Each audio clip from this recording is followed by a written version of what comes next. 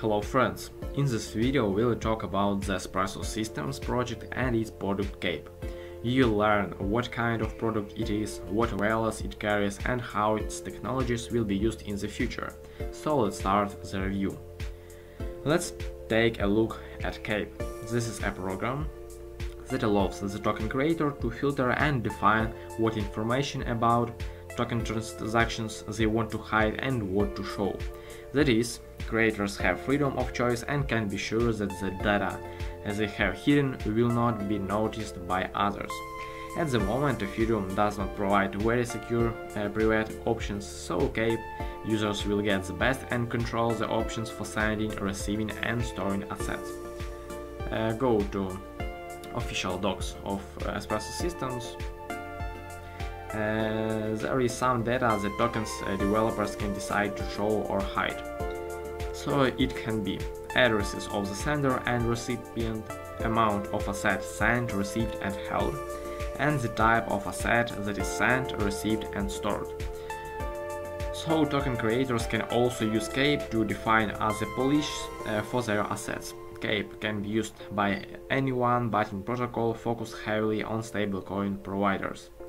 For them, control over fraud is uh, important as uh, well as a method of freezing assets. Such a method did not exist before, it was possible to freeze an asset but no simulations, freezing and hiding of certain data. Cape makes this possible and helps stablecoins providers feel more confident. An important factor has become the access of users uh, to knowledge about the data they exchange, as well as to monitor who controls this data and who see it. For this special user's interface was created where you can track it. The main task is the awareness of its users and developers about the control of their data. This is uh, what makes Cape such a unique project. Cape also create uh, such a protection in the DeFi pools in which data verification will be carried uh, out without the need for public display for all information. This is important because a large number of people have started using DeFi services.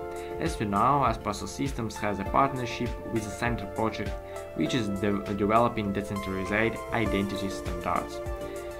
Cape wants to make sure that developers and users have privacy about their assets, because not everyone wants someone to be able to see their balance or income or any other information.